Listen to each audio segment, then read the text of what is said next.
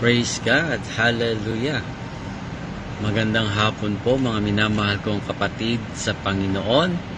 At maaring kayo ay nagtataka no dahil nag ako po ay nag-live ngayong hapon at medyo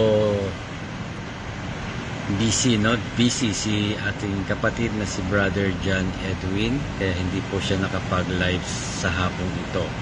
Kaya po, minsan pa, hayaan po natin na bigyan dahil sa ating buhay po ang salita po ng ating Panginoon. Glory to God, hayaan po natin na saan man ako naroroon, saan man tayo naroroon, ay palagi pa rin po nating unahin ang salita ng Diyos sapagkat ito po ang kailangan po nating lahat mga minamahal kong mga kapatid sa Panginoon. Yaan po natin na sa hapong ito ay dumulog tayo sa Panginoon. Inaanyayahan ko po kayo na minsan pa tayo po ay manalangin. Ama naming Diyos na makapangyarihan sa lahat sa umaga sa hapon pong ito, kami ay lumalapit nagpapakumbaba, humihingi ng tawad sa lahat po ng aming pagkukulang, sa lahat po ng aming kasalanan. Dalangin ko po, O Diyos, saan man kami naroroon. Sa mga oras na ito, igawad mo po sa amin ang kapatawaran sa lahat ng aming kasalanan. Upang marapat po kami sa iyong mga salita, pagpapala nito ay dumaloy sa aming buhay, himala ng iyong salita ay magpagaling sa lahat ng uri ng karamdaman. Sa sino mang may karamdaman sa mga oras na ito, hayaan po ang salita mo at panghahawak at patuloy na paninindigan sa iyong mga salita ang magpagaling sa lahat ng uri ng karamdaman. Maging daan din ang pagyakap namin sa iyong mga salita, ang pagkakaroon po namin ng kapanatagan, ng kapayapaan, kagalakan sa aming puso kahit sa gitna ng mga pagsubok at mga pinagdaraanan sa buhay. Lord, tunay nga na wala po kaming magagawa kung kami ay hiwalay sa iyo. E sa oras na ito, O Diyos, ang dalangin ko minsan pa, iparanas mo po sa amin ang pagyakap mo sa bawat isa sa hapong ito. Purihin ka, Panginoon, purihin ka, O Diyos, sa iyong papuri, parangal, pagsamba at pagdakila. Ang lahat po ay magsabi ng Amen. Praise the Lord. Hallelujah. Kakamustahin ko lang po kayo, ano? Patungkol po sa atin pong napagsaluhan kaninang umaga. At nawa po, hindi po yon nananatili lamang na nakakahon ang atin pong mga napapakinggan. Hindi natin po hinahayaan na yon ay hanggang pasok lang dito at labas po sa kabilang tainga Nawa ay nasalamin na po natin ang ating mga buhay kung ikaw na nagpatuloy sa Panginoon, nagpapasok sa Panginoon sa iyong puso, ay praise the Lord, masalamin natin. Ikaw ba si Martha? Ikaw ba si Maria? Dapat kasi alam natin na ang sino mang tumanggap at nakipag-isa kay Kristo. Praise the Lord! Ay may kagalakan, may kapayapaan. Nagdidesisyon hindi sa sarili, nagbabalak, nagpaplano, nakasama ang Panginoon.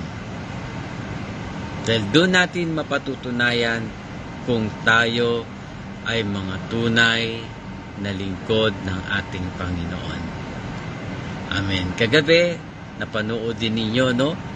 Yun pong ibinahagi ni Pastor Ed Rona. Nung Sunday, kung atin pong i-replay yung mga napag-aralan natin. Yung gawain sa San Pablo City, malinaw na malinaw yon na ang tanong, mahal mo ba ang sarili mo? No? Mahal mo ba ang buhay mo? Ayan. Pag sinabing mahal mo ang buhay mo, mahal mo ang kaluluwa mo. At pag mahal mo ang kaluluwa mo, uunahin mo na harapin ang Panginoon na pinapasok at tinanggap mo sa iyong puso, sa iyong buhay. Nabubusugin mo ang sarili mo sa pakikisalo sa pamamagitan ng salita ng Diyos na daladala ng Panginoon. Dahil magdadala yun sa atin eh, sa magandang buhay, maghahatid sa atin yun, hindi lamang sa pansamantalang buhay dito sa daigdig, kundi maging sa buhay na walang hanggan. Purihin ng Diyos, purihin ng Panginoon. Sabi nga ng katanungan doon ni Pastor Eds, mahal mo ba ang sarili mo? Ayan. Dahil ang labis na nagmamahal sa sarili ay laging ang kapakanan ng pangangailangan ng katawang lupa ang ating inaatupag. Ang makalamang damdamin, ang makalamang ang makaemosyong maka, makamundo, mga emosyong makamundo. Kapag mahal natin ang ating sarili talagang maipagpapalit talaga natin ang Panginoon sa mga bagay-bagay na kagaya ng ginawa ni Marta na ang sabi ng Panginoon, Marta, Marta, abalang abala ka. Marta, Marta, masyado kang naliligalig sa maraming bagay. Ang maraming bagay na tinatawag ng Panginoon, sinasabi ng Panginoon ay ang paglilingkod. Na hindi tayo maging tuyag sa paglilingkod sa iisa lamang. Dahil marami tayong extra curricular activity. Activity, sorry. Na dapat ang nasusunod ay ang kagaya ng ginawa ni Maria. Narinig po ninyo, sabi, pinili ni Maria ang mas mainam. Ang desisyon niya, makinig, umupo sa harapan ng Panginoon kung saan naandon ang Panginoon, naandon din si Maria. Kaalin sabay nito, kung saan naandon ang Panginoon, si Marta naman ay abalang-abala. Kaya pag nilayan natin ang ating sarili, my dear brothers and sisters, alam naman po natin na kapag tayo ay nagkamali ng pagpili, nagkamali ng dinidesisyonan natin sa buhay, sabi nga, mapapagod tayo, mahihirapan tayo, manghihina tayo, manlulupaypay tayo. Dahil yan ang pinili natin. Samantalang kung ang pinili natin ay kagaya ni Maria, at ang sabi, hindi ito aalisin kay Maria. Hindi aalisin kay Maria na siya ay mananatiling payapa, panatag, may galak sa puso, may pag-ibig.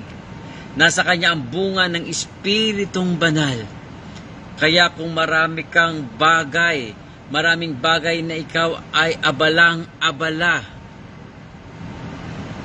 doon mo mararanasan na ikaw ay mahihirapan, maguguluhan, mapapagod, magsisisi.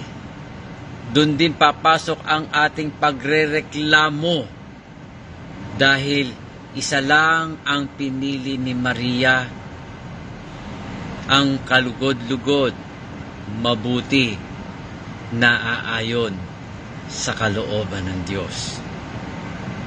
Kaya ang sabi, hindi aalisin kay Maria yon. Kaya huwag kang papayag na sa paglilingkod natin ang dami nating sinasagutan, ang dami nating pinapangakuan, ang dami nating inooohan na pwede naman tayong humindi, na pwede naman tayong umayaw kasi yung aayawan natin, kapag inayawan natin, ibig sabihin, isa lang ang dapat nating piliin. Dahil kapag uh, kapag hindi tayo humindi, tayo rin ang magsasuffer, tayo rin ang mabibigatan, tayo rin ang mahihirapan. Tingnan natin kung ano ang naging pag-aasal ni Marta. Nagawa pa rin niya tuloy utusan ang Panginoon na sinabi niya, papayag ka ba Panginoon na hindi ako tinutulungan ni Maria? Sabihin niyo nga po sa kanya na ako ay tulungan. Praise the Lord. Nakakalungkot isipin. Minsan, hindi natin nakikita ang ating sarili na ganyan pala tayo sa ating paglilingkod. Hindi lumulutang ang tunay na paglilingkod sa ating pinaglilingkuran hindi nangingibabaw sa buhay paglilingkod natin na talagang tayo ay naglilingkod. Dahil kung talagang tayo naglilingkod, ang buhay natin ay hindi napapasok sa kaguluhan. Hindi naaalipin ng karamdaman. Hindi naaalipin ng kalungkutan. Dahil ang lahat ng tanong sa ating, lahat ng sagot sa ating mga pinagdadaanan.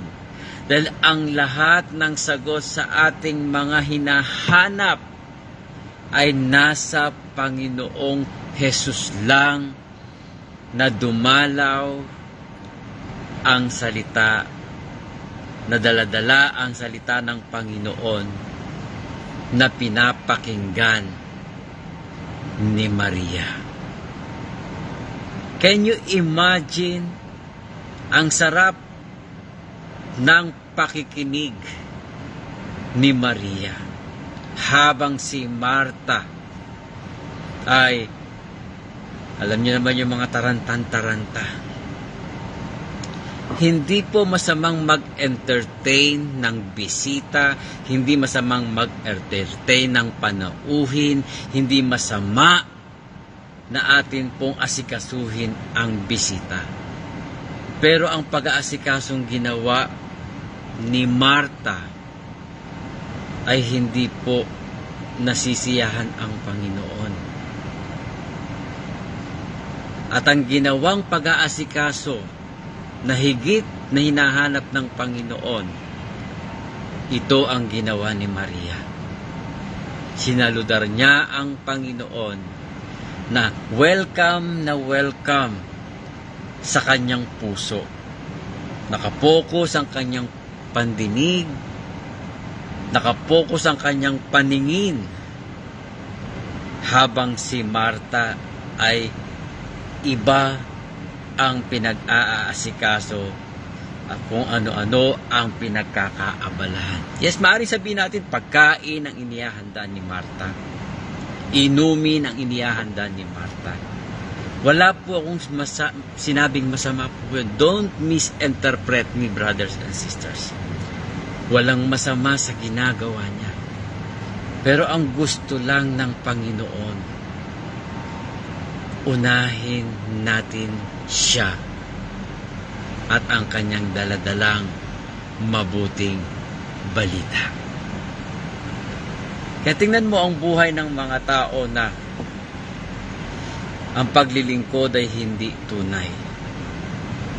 Sabi ko nga po kaninang umaga, akala nila tunay na ang kanilang paglilingkod. Akala nila ganun lang ang paglilingkod Mag-ingat po tayo, brothers and sisters, sa ating mga kilos, sa ating mga pananalita, sa ating mga pagpaplano, sa ating mga didesisyonan, sa ating mga magiging kaibigan, sa ating magiging kasama, sa ating magiging uh, kausap, katransaksyon, na hindi natin napupuna na imbis na mapokus tayo sa Panginoon, ay doon tayo napopokus sa pangangailangan ng katawang lupa. Hindi sa pangangailangan ng ating kaluluwa. Amen. Balikan niyo po yan. Pakinggan niyo pong mabuti. Yung mensahe ni Pastor Eds nung Sunday, napakaganda. Napakalinaw. Mauunawaan po talaga at makikita natin ang ating sarili.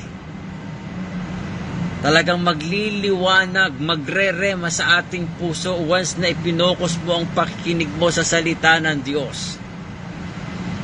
Kaya yung mga pagdidesisyon, hindi ka na maguguluhan. Kaya mo nang hindian ang tao. Basta, yes tayo para sa Panginoon. Kaya mo nang tanggihan ang offer ng tao. At yes tayo sa Panginoon. At may kapayapaan ka pa kapag yes palagi tayo sa Diyos. Eh sabi ko maging sa ating group chat, basahin ninyo kamusta na po kayo. Sinulat ko po doon kamusta na po ang ating paglilingkod. Ang paglilingkod ng bawat isa, ikaw ba'y Marta o Maria? Praise the Lord. Sabi nga nung awitin, We want to be like Mary, who found the better part. Pinili niya, natagpuan niya ang pinaka the best, the better part na kailangan ng kanyang kaluluwa na siya ay manginain na siya ay makinig ng daladalang mabuting balita ng Panginoon. We want to be like Mary who found the better part.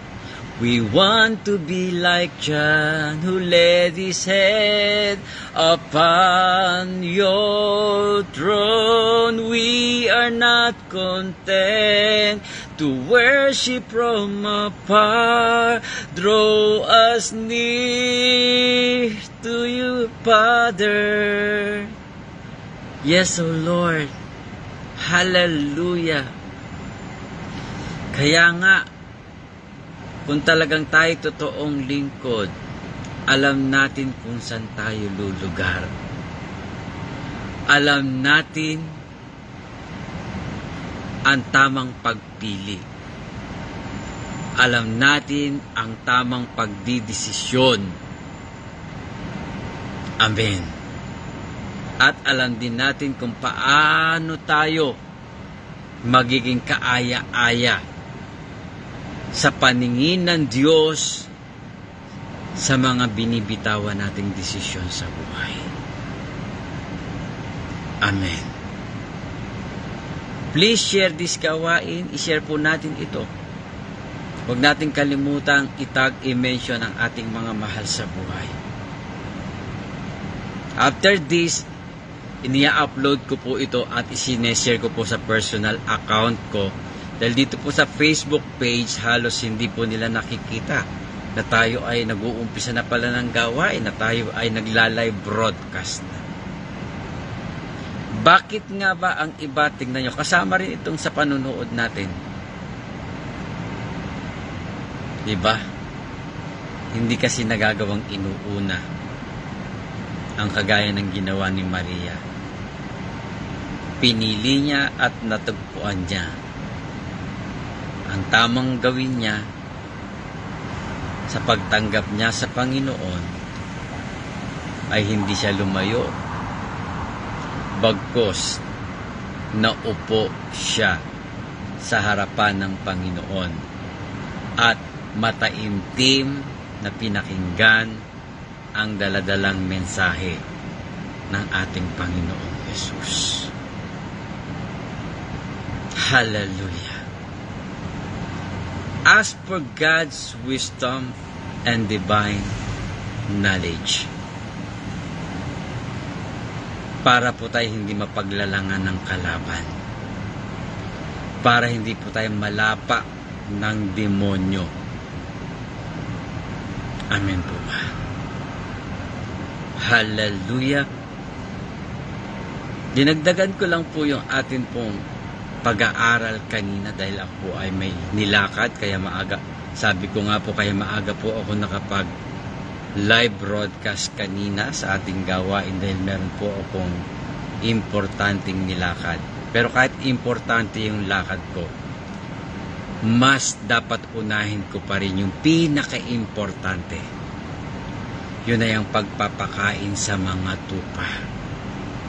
Binibigyan ko po kayo ng example na kahit may gagawin ako, kahit may pupuntahan ako, kahit may lalakarin ako, I don't care Basta ang care ko ay makapagpahayag muna ako. Una sa lahat ay makapagpakain po ako. Bago ako maging abala. Bago ako may puntahan. Bago ako may lakarin. Bago ako may kausapin. Bago ako may asikasuhin. Bago maging busy ang maghapon ko unahin ko yung aking sinumpaan sa Panginoon na kung talagang mahal ko siya, ang sabi ng Panginoon, pangalagaan mong aking tupa. Pakanin mo ang aking mga tupa. Yan ang sabi ng Panginoon sa kanyang mga alagad. Amen. Kaya brothers and sisters, Huwag yun ang pagtakhan na bakit kahit meron akong mga gagawin, hindi ko po kayang tikisin. Ewan ko lang bakit yung iba nagagawa. Yung iba, mamaya na lang yan. Marireplay ko naman yan. Mamaya na lang yan hapon. Para bang hawak niya ang kanyang buhay. Parang para bang alam niya ang mangyayari mamaya o bukas. Kaya ang sabi ng Panginoon, walang nakakaalam. Kaya hindi dapat natin ipagmalaki.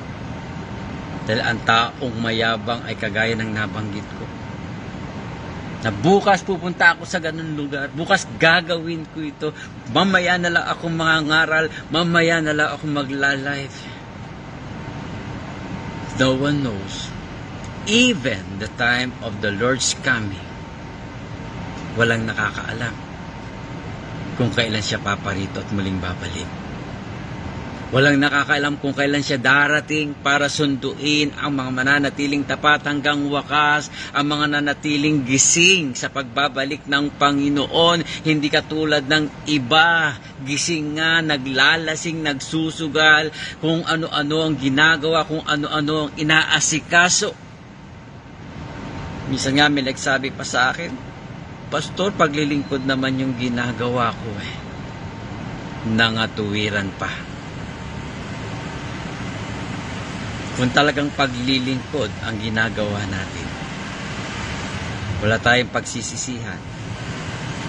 Wala tayong wala tayong pagrereklamo.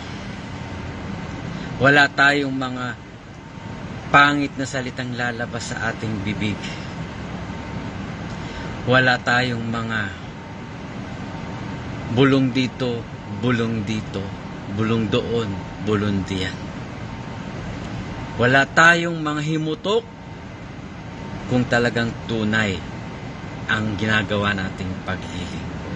Pastor, yung pinuntahan ko naman paglilingkod, namimigay kami ng ganito, ng ganyan.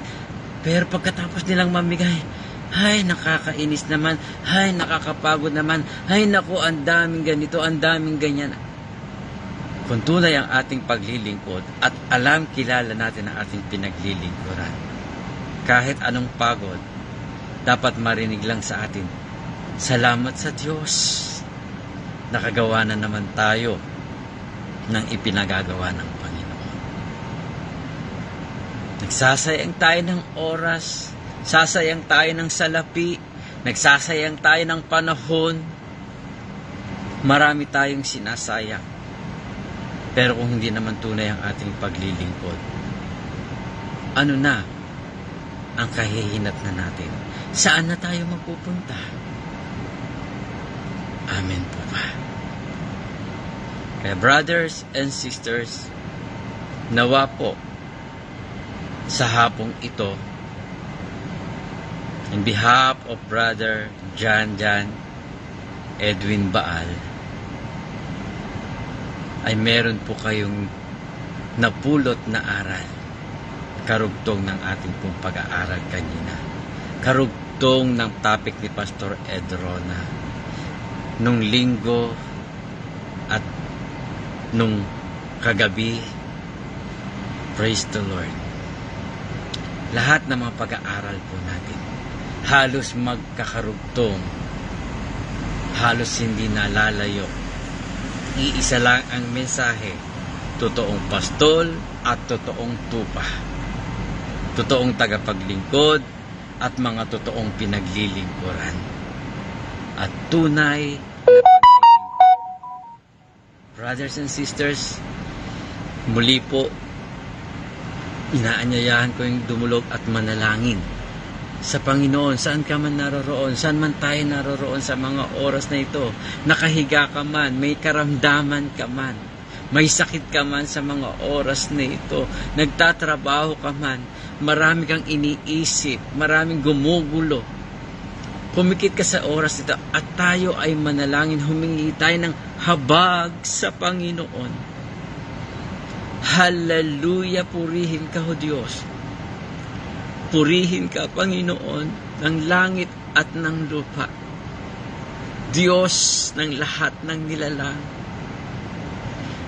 Lahat ng may buhay at lahat ng bagay na nasa aming paligid sa daigdig na ito. Muli sa paglapit naming ito, ang madalangin ko po ang iyong habag at awa, Panginoon Dalangin ko, O Diyos, na Ikaw ay dumalaw at kumatok sa aming mga puso sa hapong ito katagpuin. Kausapin mo po kami, Panginoon. Liwanagan mo, tanglawan mo po ang mga didiliman naming puso, ang mga nadidiliman naming isipan, Panginoon pusong nahihirapan, Panginoon, nababagabag, nababalisa, Panginoon, nalulungkot mga tao, O Diyos, na nagmamataas, mga tao, Panginoon, na walang pakialam, Panginoon. Patuloy pong tanglawan, liwanagan, ang aming mga puso sa mga oras na ito. Tulungan mo po kami sapagkat wala kaming magagawa kung kami ay hiwalay sa iyo maging sa aming mga ninanais, palitan mo ito, O Diyos, ng ninanasa ng Espiritong Banal. Alisin mo, O Diyos, ang makamundo na emosyon, ang mga kahihiyan sa aming buhay sa tao, bagkos sa iyo kami mahiya, Panginoon, sapagkat mali ang aming paglilingkod. At itama mo nga po, O Diyos, at gawing totoo, tunay, banal, mabuti, at may pag-ibig na paglilingkod sa iyo upang di kami magkamali sa aming mga paglilingkod na ito. Let every decision, O Lord, is in your control, O Lord hawakan mo pong aming puso. Please, O Lord, nagsusumamo kami, hindi lamang sa aming sarili, maging sa lahat ng mga nahihirapan para maitama at maituwid ang aming paglilingkod sa iyo, O Diyos. Sagipin mo ang mga tao, Panginoon, na nalilikaw ng landas. Sagipin mo, O Diyos, ang mga naguguluhan sa hapong ito. Sagipin po ang maraming galit, hinanakit po at himutok sa buhay na ito. At palitan mo po ng pag-ibig na banal na siyang alay mo po sa bawat isa sa amin. Muli Lord, nawa po maramdaman namin, maranasan po namin ang pagpapatawad mo sa pamamagitan ng pagkakataon na muli naming tatanggapin sa iyo sa maghapong ito. Makakilos po kami ng malaya, may galak sa puso, payapa, panatag, at punong-puno ng pagmamahal para lumawak ang aming mga pangunawa. Palain mo lahat ng naglalakbay ngayon. Pagpalain mo mga nasa himpapawid, nasa karagatan, nasa kapatagan, nasa silid, nasa kwarto nila, nasa tahanan nila, sa balkonahin nila. Andun man sila, Panginoon, sa hospital, Lord. I declare healing in the name of Jesus. I proclaim that the power of your blood, O Lord, ang siyang magpapagaling sa lahat ng uri ng karamdaman. Ang iyong kapangyarihan ang dadaloy para bumuhos maging ang masaganang biyaya sa buhay ng bawat isa. Thank you, Father God. Thank you for Jesus Christ. Thank you, Holy Spirit. Sa iyo po, O Diyos, alay ko ang lahat ng papuri parangal, pagsamba at pagdakila. Sa pangalan ni Jesus, ang lahat po ay magsabi ng Amen. Magandang hapon sa ating Panginoon, sa banal na Espiritu, sa ating Amang nasa langit, sa ating Panginoong Jesus, at magandang hapon sa inyong mga kapatid ko sa Panginoon. Good morning po sa lahat ng mga nanunood sa hapong ito kay Ate Nina de Mesa at sa buo mo pong pamilya, kay Nanay Lilia Inero ng Pitugo, Quezon, Magandang hapon po, pagpalain kayo ng Diyos kay Tita Perlita Octavio at sa buo mong pong pamilya. Octavio Lindico Bueno family, kay Sister Amor Mia, good afternoon po and God bless sa buo niyo pong pamilya. Kala Ate Opel Bondok ng Santa Ana, Pampanga, healing grace and let God continue to embrace you. Ate Opel, Pagpalain ka po ang kalusugan mo po. Ang iyong apo, mga apo, maging sila Sister Dang at mga taga Santa Ana, Pampanga. Kapatid natin dyan sa UK, London, kala Sister Kate Villamor, Lily Reyes, Federica Candelaria, kala Norma Mijares, kala Sister Nelia Magdame, Brother Nilo Reyes, kala Sister Baby Lourdes Reyes, from Columbus, Georgia. Kay Sister Marilyn Gamba and family, Sister Trinidad, Manabat Franco family, Kati Lakbo and family, kay Dalaga Saiko and Sister Mareta. God bless po sa buo niyong pamilya. Kay Sister Grace Bardos de Los Santos. God bless sa lahat po ng aking mga kapatid sa pananampalataya, ang God of Truth Family at lahat ng kaibigan ko sa Facebook. At ganun din po sa mga followers, sa mga subscribers, sa mga viewers, sa mga likers, sa mga inviters, no? Ah, sa mga nag-i-invite po ng ating gawaing ito. God bless sa lahat po ng aking mga kumpare, kumare, mga kaibigan, batchmate, classmates, sa aking mga ninong, ninang, uh, sa aking mga kinakapatid, at sa lahat ng aking mga Tsuhin at Tsahin sa Benaventura at Kalimag family. God bless din po sa lahat ng mga pinsan ko, mga kapatid, bayaw, hipag at bilas sa aking mga apo, manugang, balae, sa aking mga anak, at sa aking asawa ganun din sa lahat ng aking kapitbahay at mga kabarangay. Ganun din sa ating mga leaders. Konsehal Trophy Tolentino, good afternoon. Good afternoon din po kay Consi Regina Esquejo Good afternoon, paring Arnel Surbano. Pagpalain ka ng Panginoon at patuloy na paghimalaan ng Diyos.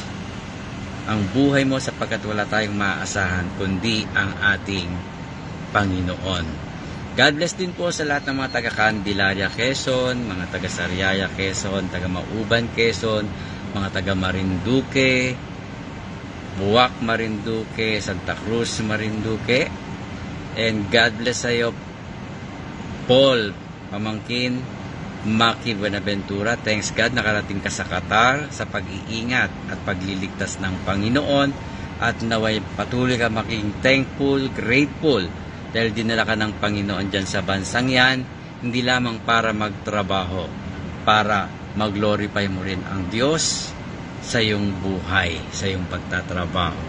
God bless maging sa mga taga Singapore, mga kamag-anak ko dyan sa Singapore, sa Hong Kong, sa Italy. God bless you all.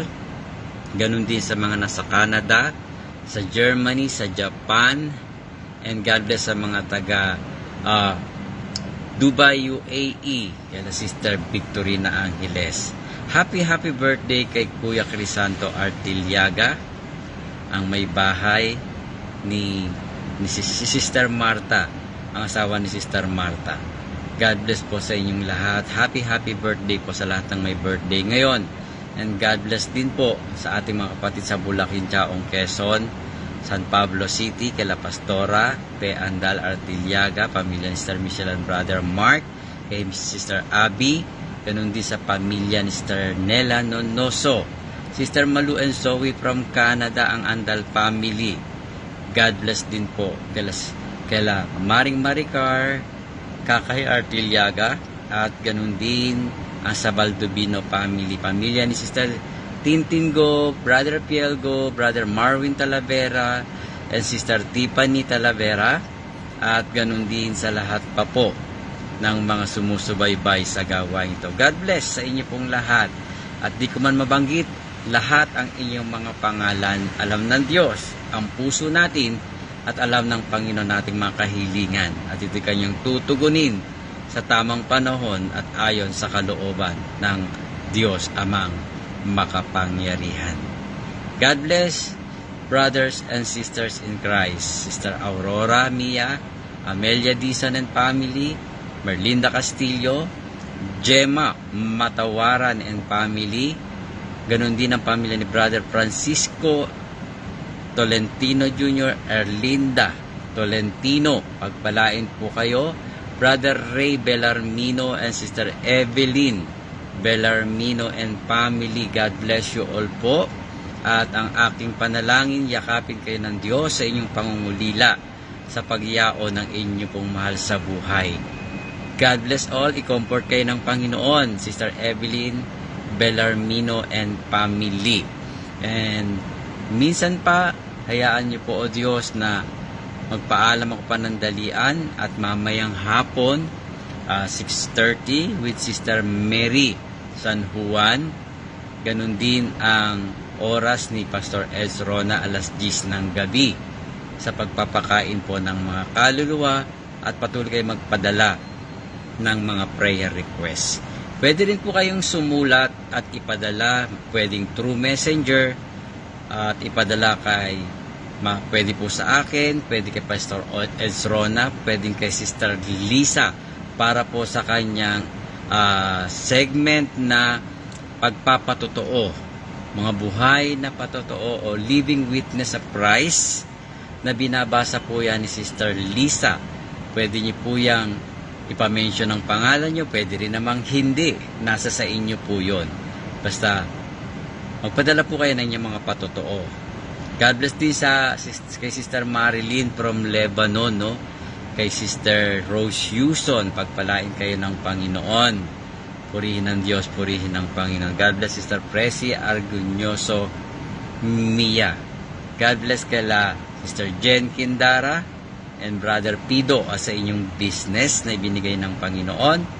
And sa pam buong pamilya ni Sister Amor Mia. Sister Donna Paraiso, God bless po sa iyo, sa buo mong pamilya at sa lahat pa po ng mga makakapanood. Pagpalain po kayo ng poong Diyos natin na nasa langit. Ang poong may kapal na siyang may likha ng lahat ng bagay at nagpapala sa ating mga buhay. Paalam po ngayon, loob ng Diyos, kita-kita po tayo sa araw ng bukas. Magandang hapon pong muli. I love you all because God loves us very much. God bless us all.